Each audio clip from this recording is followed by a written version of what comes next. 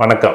இந்த நாள் இனிய நாள். வாழ்வில் எல்லாரும் எல்லா வளமும் பெற வேண்டும். நான் உங்கள் புதுவுடை மூர்த்தி அச்சய இலக்கண பദ്ധதி ஜோதிட ஆராய்ச்சியாளர்.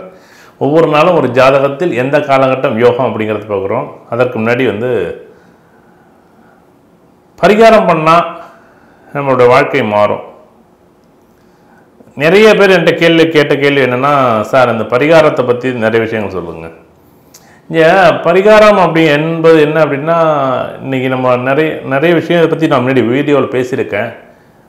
நம்ம என்ன சொல்லுவோம்? பேரை மாற்றினா பெரிய ஆள் ஆகிடலாம் வீட்டை மாற்றினா பெரிய ஆள் ஆகிடலாம் அடுத்து பார்த்திங்கன்னா நம்மளுடைய சில பூஜைகள் பண்ணால் பெரிய ஆள் ஆகிடலாம் எல்லாமே பண்ணணும்.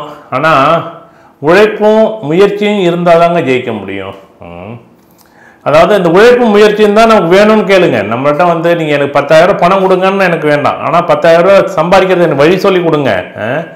மீன் வாங்கி கொடுக்க அதாவது நம்ம ஊரில் சொல்லுவாங்கள்ல மீன் பிடிச்சி கொடுக்குறத விட மீன் பிடிக்கிறத கற்றுக் கொடுங்க அவங்க வாழ்க்கை வளமாகும் அப்படிங்கிறது தான். அதுக்காக நான் ஜோதிடம் என்பது ஒரு கலையை நீங்கள் எல்லாரும் கற்றுக்கிட்டீங்கன்னா உங்கள் வாழ்க்கை வளமாகும் வாழ்க்கை வந்து ஒரு யோகமாக மாற்றிக்கொள்ளலாம். ம். இதை பண்ணால் மாற்றிடலாம் இதை பண்ணால் மாற்றிடலாம் இதை தே- என்னென்னமோ உலகத்தில் அத்தனை பரிகாரங்கள் இருக்குது அது என்ன அப்படின்னா ஒரு ஒரு கடனாளியாக இருக்கிறார் அப்படின்னா மறுபடியும் ஒரு கடன் வாங்கி அவருக்கு ஒரு பூஜை செய்ய சொல்வதோ இல்லை அந்த பூஜையை இன்னும் அதிகமாக கடனாக்குவது தான் உண்மையிலே அவருடைய ஜாதகத்தில் இந்த பூஜை செய்தால் சரியாகும் அப்படிங்கிற ஒரு நிலை நான் பார்த்து அந்த பூஜையை செய்ய சொல்வதோ இல்லை அந்த பூஜையை செய்வதால் அவருக்கு மாற்றம் உண்டு.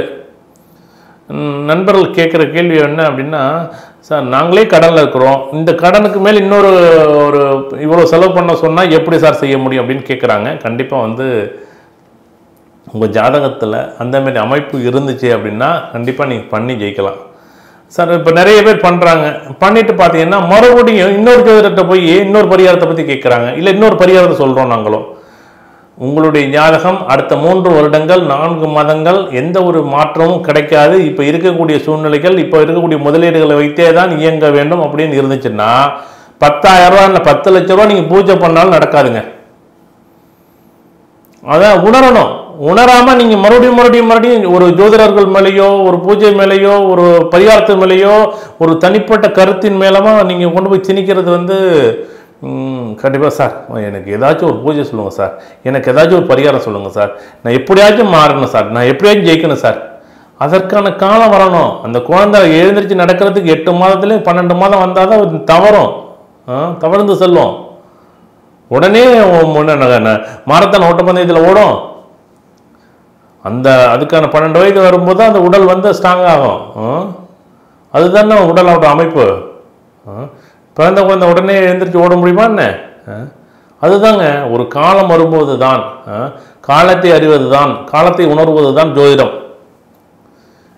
நிறைய நண்பர்கள் கேட்ட கேள்வி என்ன அப்படின்னா எல்லாருக்கும் வந்து அதுதான் பரிகாரம் பண்ணால் ஜெயிச்சலாம்னா நான் பரிகாரம் பண்ணி ஜெயிச்சலாமே எல்லாரும் பரிகாரம் பண்ணி எல்லாருக்கும் ஜெயிச்சலாமே யாருக்கு என்ன பரிகாரம் எப்போ செய்தால் ஜெயிக்கணும் என்று அதை உணர்ந்து அதை செய்தால் மட்டுமே அவருடைய வாழ்க்கை வெற்றியாகும்.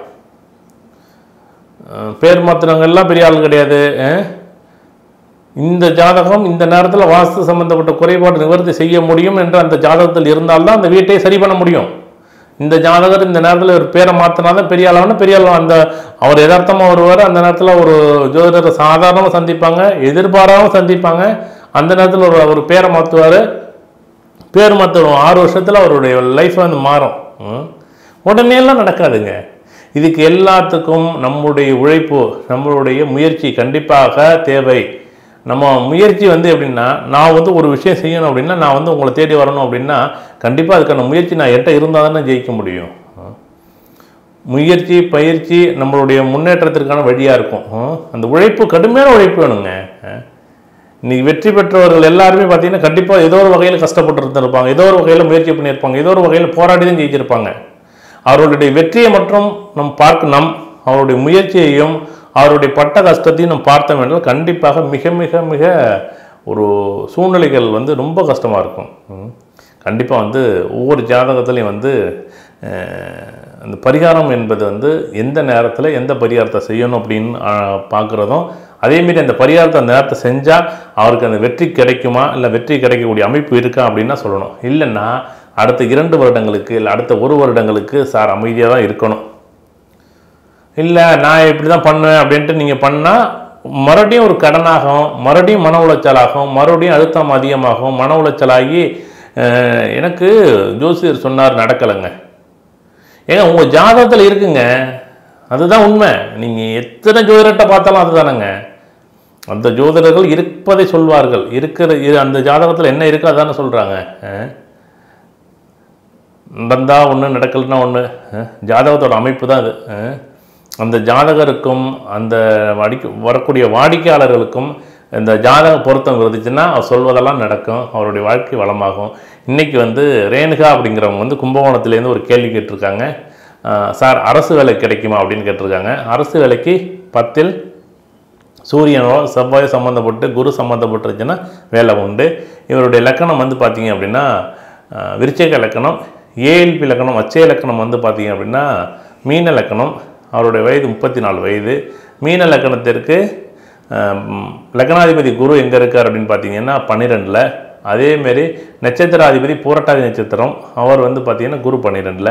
இப்போ வந்து பத்தாம் வீட்டை வந்து நம்ம லக்கணமாக வச்சுக்கணும். பத்தாம் வீடு யாரும் குரு. பத்தாம் வீட்டுக்கு மூணில் குரு இருக்குது முயற்சியில் ஜெயிப்பாரா? ஜெயிப்பார். அப்போ வெளியூர் வெளிநா இடத்துல வேலை உண்டு. பத்தில் ஆறாம் அதிபதி பத்தில் சூரியன் இருந்துச்சுன்னா பத்தில் சூரியன் பத்தில் செவ்வாய் சம்மந்தப்பட்டாலும் கண்டிப்பாக ஒரு யோகத்தை கொடுக்கக்கூடிய அமைப்பு உண்டு. ஜாதவரோட முயற்சியால் பத்தில் இருக்கக்கூடிய சூரியன் அந்த பூரட்டாதி நட்சத்திரம் ஒரு வருடம். அதேமாரி பார்த்தீங்கன்னா கேதுவோட நட்சத்திரம் கேது பார்வையில் மூல நட்சத்திரம் ஒன்றாம் வாதம் பலமாக இயக்குமா பலமாக இயக்கும் கண்டிப்பாக இவருக்கு இந்த ஒரு வருடம் ஒரு மாதம் பத்து நாள் ரெண்டாயிரத்தி இருபத்தொன்று அக்டோபர் அந்த அதற்குள்ளே ஒரு வாய்ப்பு வருது. அதே மாதிரி அடுத்து வரக்கூடிய நட்சத்திரம் பார்த்தீங்கன்னா கேதோட நட்சத்திரம் அடுத்த மூன்று வருடங்களுக்கு இப்போ எழுதக்கூடிய எக்ஸாம் இப்போ எழுதக்கூடிய பரீட்சை தேர்வுகள் மூலமாக போட்டித் தேர்வுகள் மூலமாக கிடைக்கக்கூடிய அமைப்பு உண்டு. கண்டிப்பாக வந்து ஜாதகத்துக்கு அடுத்து வரக்கூடிய மூன்று வருடங்கள் எதிர்பாராத திடீர் யோகத்தை கொடுக்கக்கூடிய அமைப்பாக இருக்குது கண்டிப்பாக முயற்சி பண்ணுங்கள் உங்கள் வாழ்க்கை வளமாகும். போட்டித் தேர்வுகள் நிறைய விஷயத்தை முயற்சி பண்ணுங்கள் அரசு வேலை வந்து உங்களுக்கு மிகப்பெரிய வாய்ப்பாக இருக்குது ஏன்னா இந்த ரெண்டாயிரத்தி பதினொன்று டு ரெண்டாயிரத்தி இருபத்தொன்று அரசு சம்மந்தப்பட்ட வேலை உங்களுக்கு வர வேண்டிய அமைப்பு உண்டு. முயற்சி பண்ணுங்கள் கண்டிப்பாக வெற்றி கிடைக்கும். எல்லாம் வல்ல இறைவன் முருகன் அருளால் உங்களுக்கு வந்து கண்டிப்பாக வந்து ஒரு யோகமான நிலை வரட்டும். அரசாங்க வேலை உத்தியோகம் கிடைக்கட்டும். பழனி முருகனை வேண்டிங்க. அவருடைய அதாவது பால தண்டாயுத பாணியை வந்து எந்த அளவுக்கு அப்படியே சரணாகதி அடைகிறீங்களோ அது வந்து அது சொல்வதற்கு வார்த்தைகள் கிடையாது. அதை உணரணும். அந்த உணர்தலுங்கிறது உங்கள் வாழ்க்கையை வந்து உணர வைக்கும். வாழ்க்கையை வந்து அடுத்தடுத்த நிலைக்கு கொண்டு போய் சேர்க்கும். கண்டிப்பாக மிகப்பெரிய யோகம் உண்டு. ஏன்னா எல்லாருக்கும் அந்த மாதிரி அமைப்பு வராது. இதுவே கூடுதலாக இன்னொரு விஷயம் இருக்குது இந்த ஜாதகருடைய அப்பா அரசாங்கம் சம்மந்தப்பட்ட வேலையில் இருந்தால் கண்டிப்பாக பெண் அரசாங்கம் சம்மந்தப்பட்ட வேலை கண்டிப்பாக உண்டு. அப்படிங்கிறத இந்த நேரத்தில் பதிவு பண்ணுறேன் எல்லாம் உள்ள இறைவன் எம்பெருமான் முருகன் அருளால் நல்லதொரு வேலை அமைய வேண்டும் என வேண்டுகிறேன். மீண்டும் ஒரு இனியதொரு நிகழ்வு சந்திப்போம். நன்றி. வணக்கம்.